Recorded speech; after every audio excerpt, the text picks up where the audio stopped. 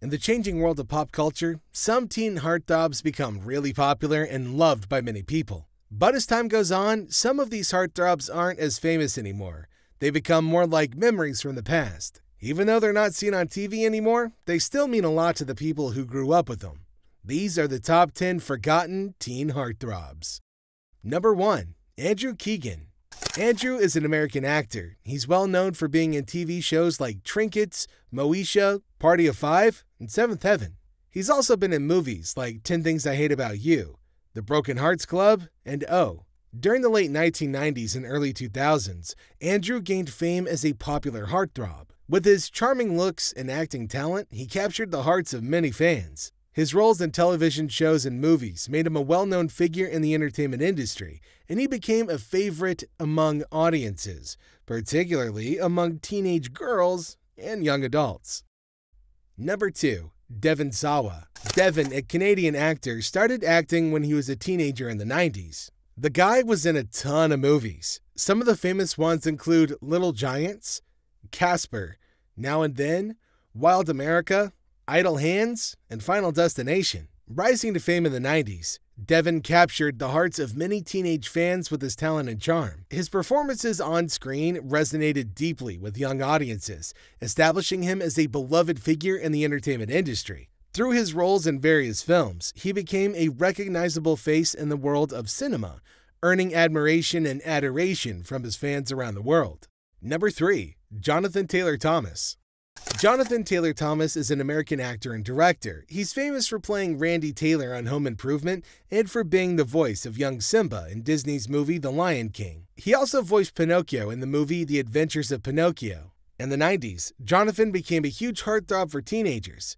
Many young fans adored him for his roles in television and movies. With his charming looks and talent, Thomas captured the hearts of many fans and became a prominent figure in the entertainment industry during that decade. Number 4. Jesse Bradford. Jesse Bradford Watrous is an actor from America. He started acting when he was just 5 years old.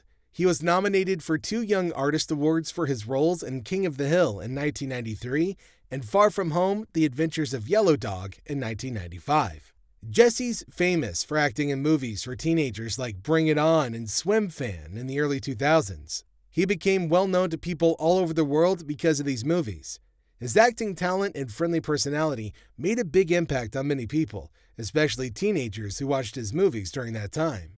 Number 5. Ryder Strong.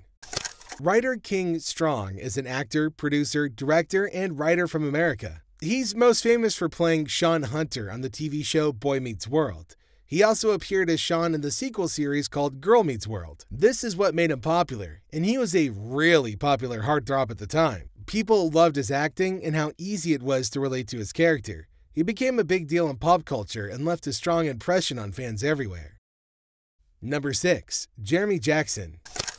Jeremy Dunn Jackson, an American actor and singer, gained fame for his portrayal of Hobie Buchanan in the popular television series Baywatch. This is where his character's adventures captured the hearts of viewers worldwide. During the 90s, Jackson became incredibly famous as a teenage heartthrob.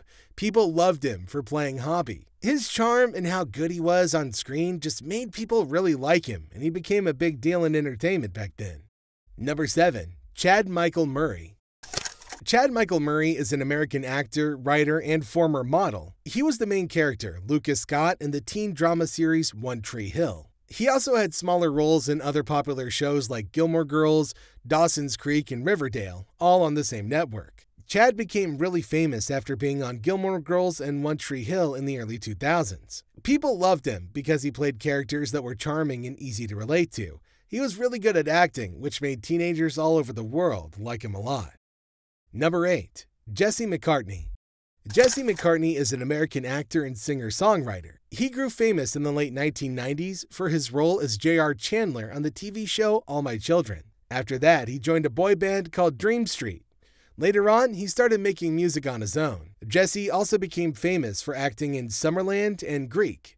He wasn't just an actor, he was also a successful singer. Many people loved him for his roles on TV, and his singing talent made him even more popular with fans who enjoyed both acting and music. Number 9. Shane West. Shannon Bruce Snaith, also known as Shane West, is an American actor, singer, and songwriter. He's famous for playing Eli Sammler in the ABC family drama Once and Again and Landon Carter in the movie A Walk to Remember. Shane West rose to teen heartthrob status through his roles in popular films such as A Walk to Remember and Get Over It. His portrayal of romantic leads captured the hearts of audiences, earning him widespread admiration and recognition as a charismatic and talented actor in the early 2000s.